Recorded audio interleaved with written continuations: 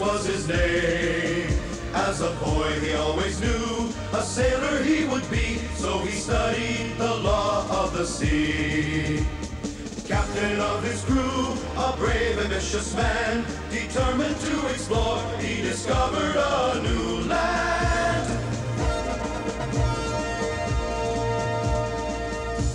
The sun and sky and his heart would be his guide, a man of valor and pride. Their blessings he obtained to carry the flag of Spain. Through tempest and rain, a strong, courageous man, determined to explore, he discovered a new land. The sails raised high, he searched the great unknown, his quest for adventure, dispelling any fear. Sure, courageous man, Columbus it was he, who sailed to new horizons across the great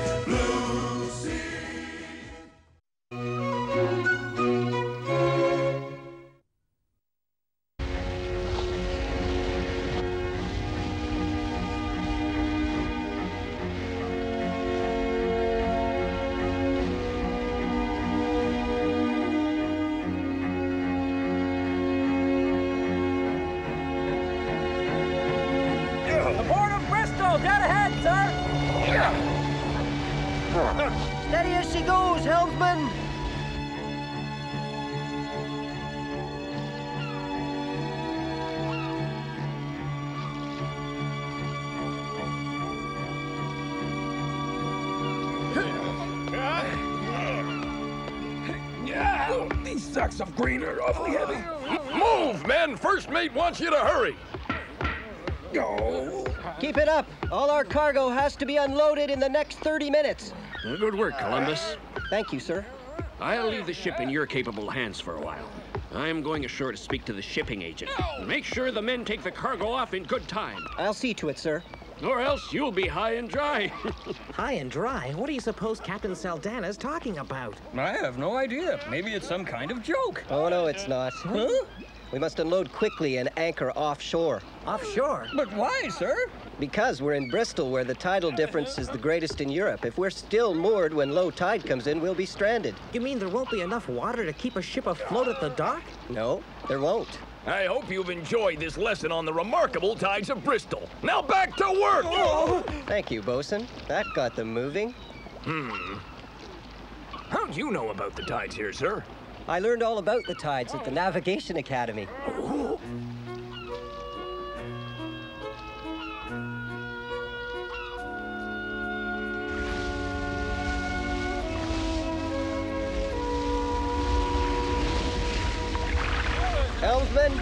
us into the deepest part of the harbor. Aye, sir.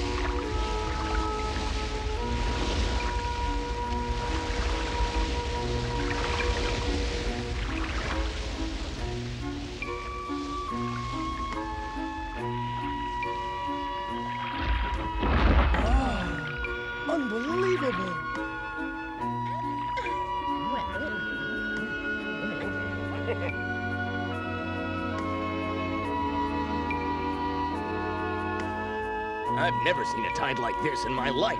Impressive, isn't it? What I want to know is where does the water go? Easy.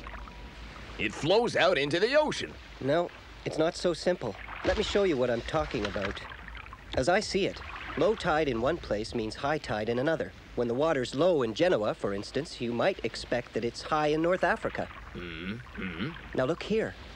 We're in Bristol, an English port on the Atlantic, and the tide is low. The way I see it, that means the tide must be high on the western shore of the ocean.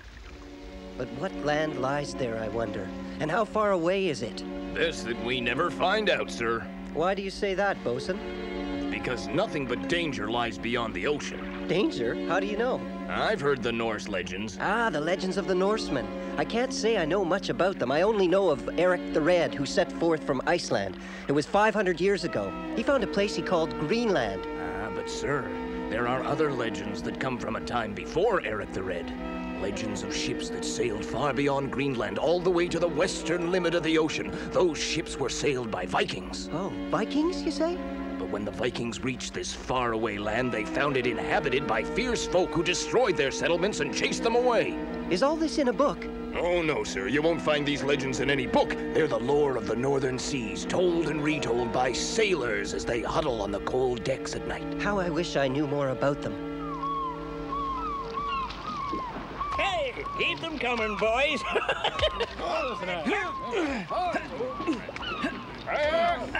Nothing smells sweeter than a good day's catch. That was a... All right. All hands, make ready to set sail. We're bound for the Irish port of Galway, men. And from there, we'll head north to Iceland.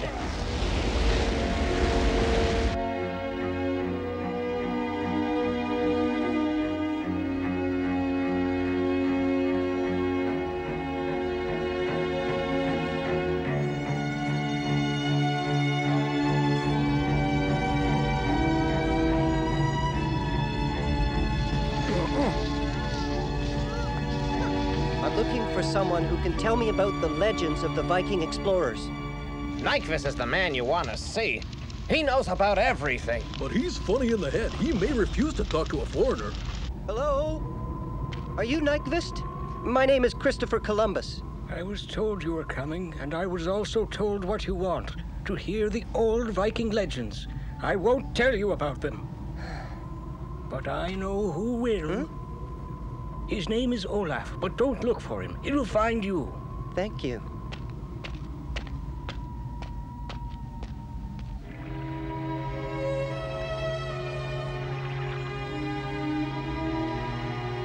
Olaf. We'll sail before he shows up. Columbus? Huh? Where are you? Captain, I'm up here, sir. Oh, there you are. I just came to tell you there's been a delay. Cargo we're supposed to carry home with us won't be ready for another fortnight, so I'm giving you two weeks off. I tell you not to get into trouble, Columbus, but I know you never do. Thank you, Captain.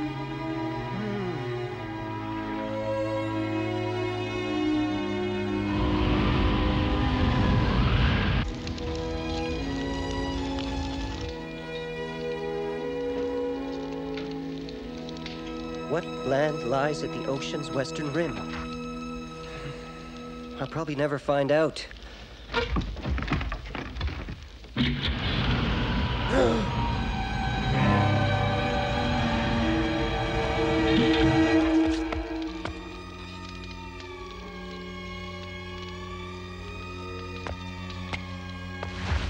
Who are you? What do you want? I've heard you're interested in the old Viking legends. My name is Olaf. You are Olaf? Hmm. I walked a long way to come here. I'm thirsty. Well, please, uh, help yourself. Here, drink up.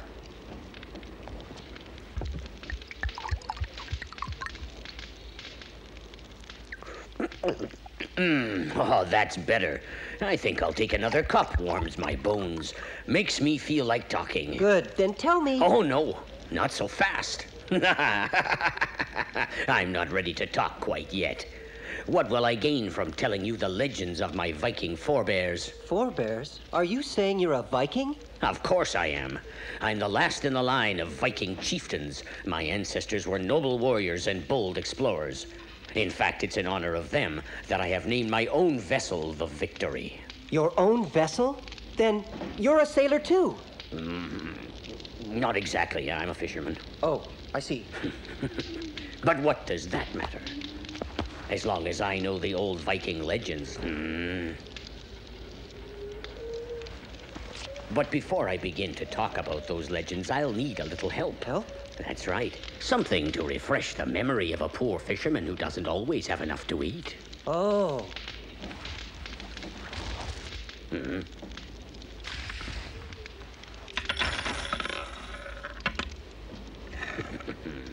Now then, tell me about the land that lies west of Greenland. West of Greenland, you say? That's an ancient legend, very ancient. I'll need to refresh my memory some more. oh, yes, now that legend is starting to come back to me. It began with a raid on the Scottish lands. In those early days, the Vikings were raiders. They plundered settlements all around the northern seas. The raid on the Scottish lands was a success, but when the three ships turned for home, a storm blew up, a howling gale that battered them and drove them west for ten days and ten nights. And when at last the storm blew over and the sun rose on the eleventh day, the sea lay like a sheet of glass under a sunny sky, and of the three ships, only one remained. But little did the weary Vikings know that a new danger lurked beneath them.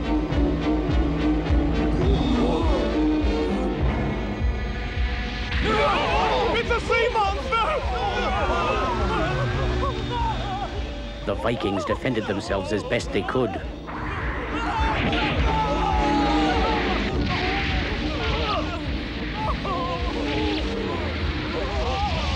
In the end, the monster gave up and swam away, leaving the exhausted men to wonder just what it was that had attacked them and whether it would return.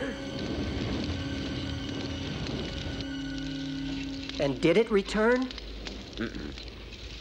They sailed west, and after ten more days and nights, they made landfall. On the western rim of the ocean? That's right. They even managed to establish a settlement there. But after a number of years, the warlike peoples of that land drove them back. Did anyone ever try to go back? Never. The dangers of such a voyage were too great, even for the bravest Viking. That's quite a story. Is it the truth? I've taken your money and emptied your flask, and you have no reason to believe me. But it is the truth.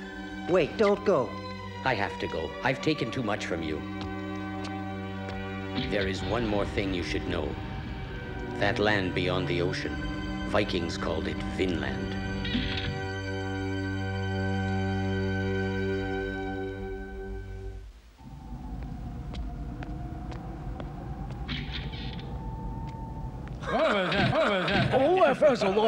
Lot. Where did he find it all? He didn't find it. You stole it, right, Olaf? From a foolish sailor? I didn't steal that money, it was given to me. Well, you're a lucky fellow. Your generous sailor just walked in. Hello, stranger. Are you looking for someone? Yes, Olaf. Huh? Mr. Columbus, welcome. Hello, Olaf. Come, sit down. Won't you allow me to buy you a drink? Oh, he'll allow you. You've taken all his money. Be quiet. If he wants his money, I'll return it. Sure you will. And my wife's the Queen of Denmark. I'll return the money. I swear it. No, that money belongs to you. I paid it to you because you're a poor fisherman and you truthfully told me what you know. I can truthfully tell you what Olaf knows. Nothing. Quiet, all of you. I deserve a little respect. Hmm? I've been thinking, and I recall I once saw proof that the land called Vinland really exists. What kind of proof? It was a strange headdress made of feathers. And you saw it yourself? Or is it another old Viking legend? No, I saw it. And where? Where did you see this headdress? Was it near here, somewhere I could go myself? I don't remember. Huh? Mm-hmm. Now tell me, where did you see it? Uh, I saw it floating on the open ocean. Show me that money purse again, please. No, I want to hear more. I was fishing in heavy weather. Suddenly I saw the headdress. And did you take it aboard? No, I couldn't reach it. And within a moment, the wind and waves had carried it away. Sven, do you believe that? No, Harold. Better watch out, Olaf. Your imagination's getting out of hand. A feathered headdress on the open ocean. Not even a gullible sailor is likely to swallow that. It's the truth. I believe you, Olaf. Thank you. Can you find that spot again? On the ocean? Why, he's crazy. I'm not crazy, I assure you. But, sir, you're not likely to see anything out there. Perhaps not, but there's only one way to find out, and that's to try. He's right. And I know for sure I won't find anything in this tavern. Hmm. If I do take you, will you pay me a fair wage for my time and trouble?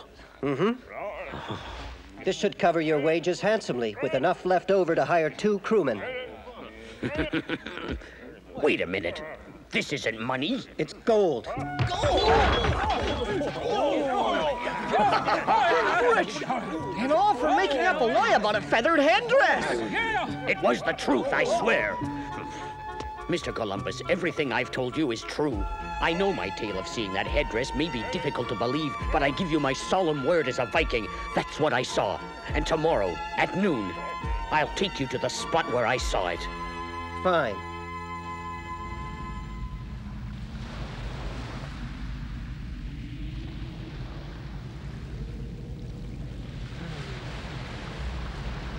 It's well past noon and there's no sign of Olaf. Maybe I shouldn't have trusted him. Ahoy! Huh? Sorry we're late. It took us a while to bail her out. What? Does your boat leak, Olaf? Just a little, nothing serious. Well, here she is, the good ship Victory. Hmm. Yes, sir. She's quite a vessel, isn't she, Mr. Columbus? Yes, she is. And I command her. Olaf the Viking chieftain, at your service. You have nothing to fear with me around. Oh, well then. Let's get underway.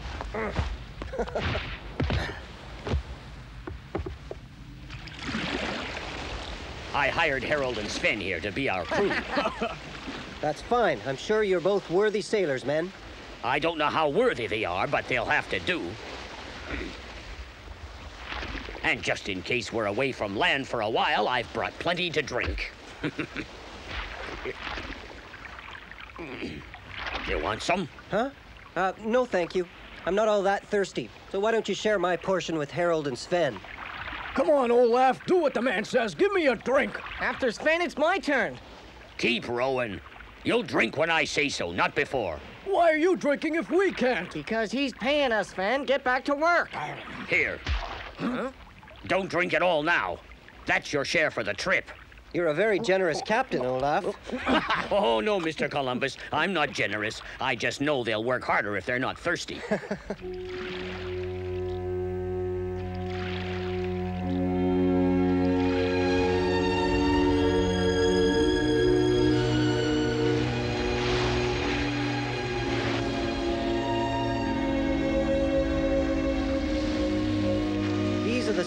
waters that Vikings sailed long ago. That's right. And they're just as treacherous now as they were back then. It's hard to believe these waters could be dangerous. They seem so calm. Well, they may look calm, but the waters of the Northern Ocean can turn murderous in a flash. Right? Right. And we're out here searching for a feathered headdress. It's madness. Don't worry. I know we'll make it home safely. Hmm? What is that? Huh? Oh, that's a glacier. I guess it's pretty impressive if you haven't seen one before. Yes.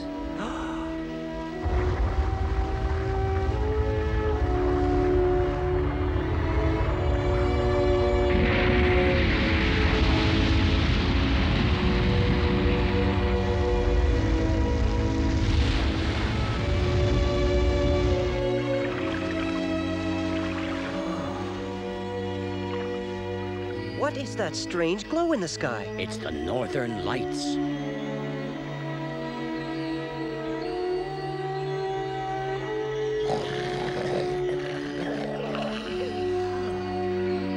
Sleep now. You came for a headdress, not to gaze at the lights in the sky.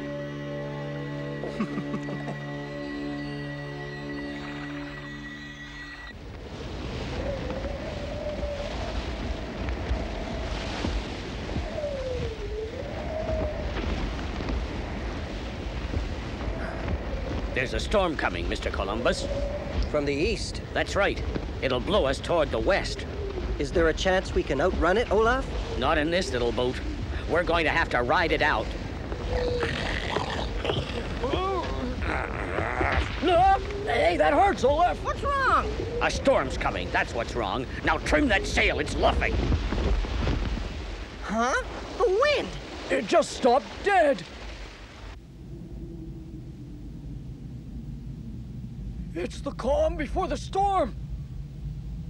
Oh, and here comes the storm.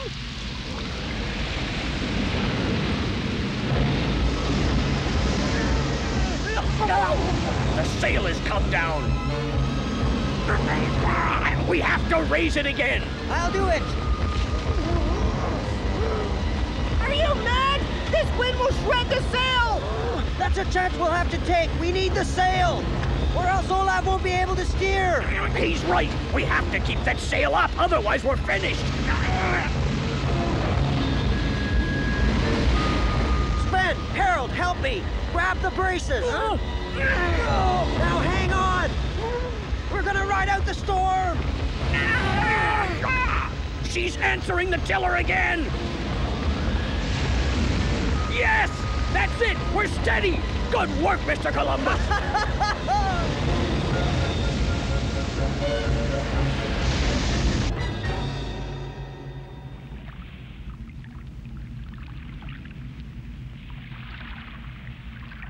Well, I'm glad we made it through that storm, but I'm not sure I like our new situation any better. Adrift in the thickest fog I've ever seen. And we don't have the faintest idea where we are. I know where we are in the middle of the great northern ocean, where awful sea monsters live. Don't say that. You're scaring me. Me too. Oh, I want to go home. I hear something out there. Mm-hmm. It's creaking wood.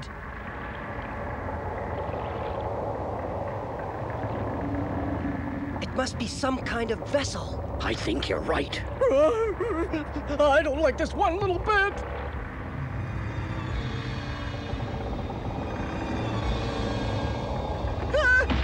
What is that?